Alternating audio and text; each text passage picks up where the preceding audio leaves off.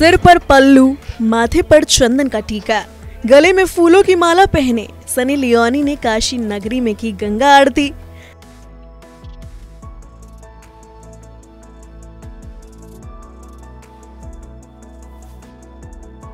जी हाँ बॉलीवुड की baby doll Sunny Leone Shiv की नगरी काशी के रंग में रंगी दिखी।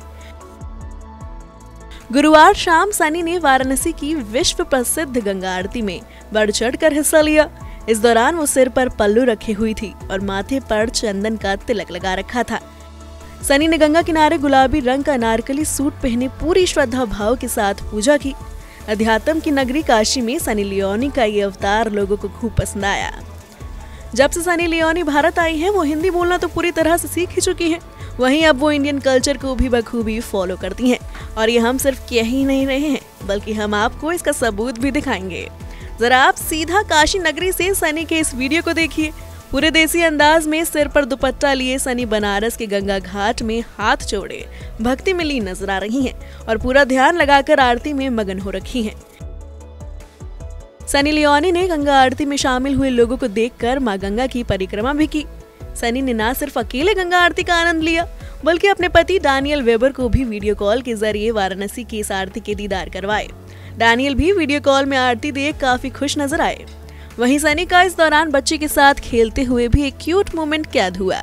घाट पर आकर एक छोटी सी बच्ची के साथ खेलते हुए और बातें करती हुई भी नज़र आई। बता दें कि सनी और पूर्व आईपीएस अभिषेक सिंह का थर्ड पार्टी नाम का गाना आ रहा है। भले ही थर्ड पार्टी सॉन्ग का वाराणसी से कोई कनेक्शन ना हो, लेकिन अभिषेक सिंह और सनी लियोनी ने अपने सॉन्ग को काशी में प्रमोट करने का मन बनाया।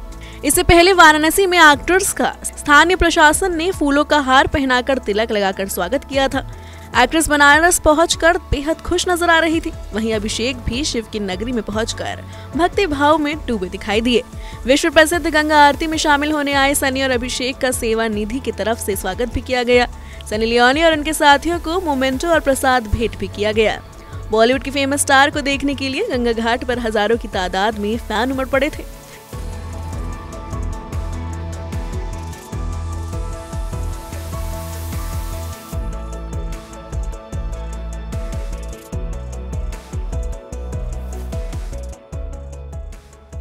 हालाँकि यहाँ सुरक्षा के तगड़े इंतज़ाम भी किए गए थे।